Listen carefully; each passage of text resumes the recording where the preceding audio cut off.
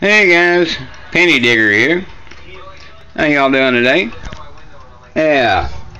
Well, I decided I was gonna get out, whether it's cold or not. It, it didn't get out of the 50s today. You know that that to us Southerners down here in the deep South, that that's cold.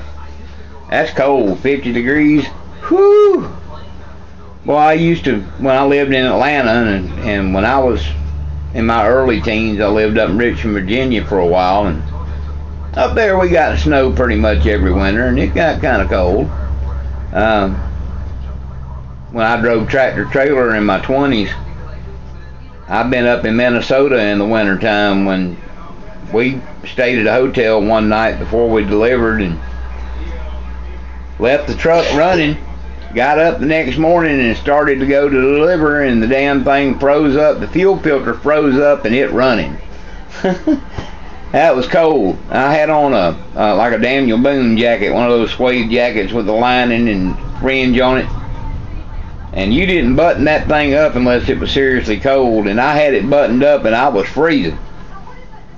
And uh, I think it was like 70 below with the wind chill. It it was cold. It was it was a Keefy six kind of cold. I mean, it was cold.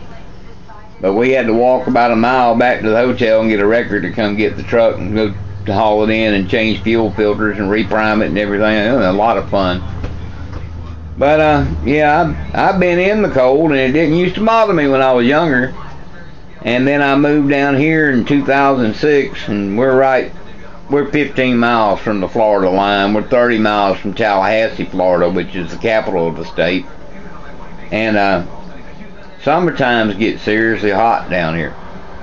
I mean, seriously hot and just about every afternoon it seems like we get those sea breezes come in off the Gulf and we get a nice little thunderstorm or, or normally. Uh, last year it seemed like we couldn't buy a damn rain shower but uh, now we had this one that was four days and 12 and a half inches of rain in four days.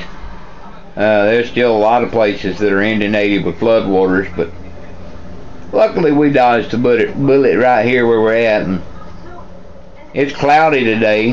Didn't get out of the 50s, like I say, but the wind is what really gets you. It was cutting through you.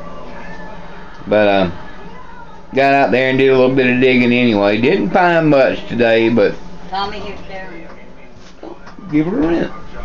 But uh, a bad day metal detecting is better than a good day, you know, sitting on the couch and just doing nothing. But uh, anyway, here's what I found today. You know, I got my my obligatory junk. Uh, some aluminum, and aluminum, and a little bit more aluminum, and aluminum, and some more aluminum, and aluminum, and it wouldn't be a hunt without a pull tab or two, and and that's just what I got. I got two pull tabs. This about made my heart stop when I seen it because that gold color. But uh, I think it's the top of a perfume bottle or something. It's heavy, but nothing to it. I don't know what this is. Thought it was a bullet at first, but it's not. Found a little little electrical terminal. And either they've been using some shitty backpacks or some shitty tarps or because there's another grommet. And found a pair of cheap very cheap kids earrings. This one's got the French wire on it and this one's got the little stone on it but it doesn't have the French wire on it. Well it did have and it was entwined in some roots and when my son was trying to pull it up it snapped right off so. Then I got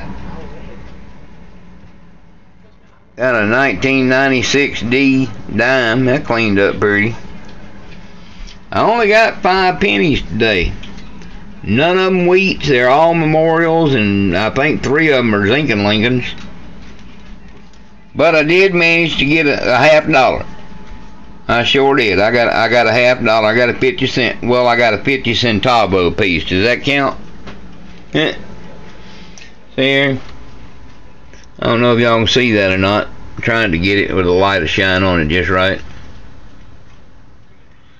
That's 50 centavos. Got the pretty little Aztec pattern there on the back. Yep. 50 centavos. Ain't that sweet? I don't know where I'd hell I'd ever spend it, except for Mexico. And I'm not planning on going to Mexico. But 50 centavos. They make their half dollars out of copper, ain't that some shit? Yep, that's all I got today, guys. That, that's sad, ain't it? That's sad. I didn't even get the money for a cup of coffee. but anyway, like I said, a bad day getting out, finding junk and, and a few pennies is still better than just sitting around the house. So I got out and I had fun finding shit. And that's what it's all about, getting out and having fun, getting a little exercise and getting that fresh air. So guys, I hope y'all get out and find you a little bit of something for too much longer. I know some of y'all about to go go stir crazy getting that cabin fever. I know Paul and Ben they they're getting crazy up there. Of course, Paul don't worry about getting in a snowball fight with Ben. He can't hit you no ways. Talking about he's gonna get in his fort and throw through that little hole. He can't hit that little hole much, much less throw through it. He can't hit the windshield. He throws at the windshield and hits the tire. So I don't think he got nothing to be scared of. But uh, Keefy, it don't bother him. He's gonna get out and hunt regardless. River Rat too. He's out there in 30 degree weather, walking along in waders in that damn champ. I don't know how he does it. Me and the wife were pointing. I pointed that out her the other day. I said, "Look at there. You got snow on this bank and snow on this bank. Temperature in the 30s. He's out there in waders, walking in the water. Damn, that boy's part penguin. I know he is."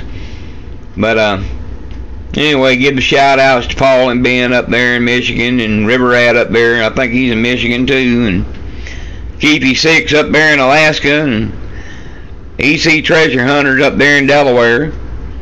And give a shout out to my buddy Mike out there in, in Arizona and Hidden Treasure Hunter. He's out there too, guys. Y'all get out there and have some fun. Find something, even if it's wrong. We'll talk to you later. This is Penny Digger, and we're out.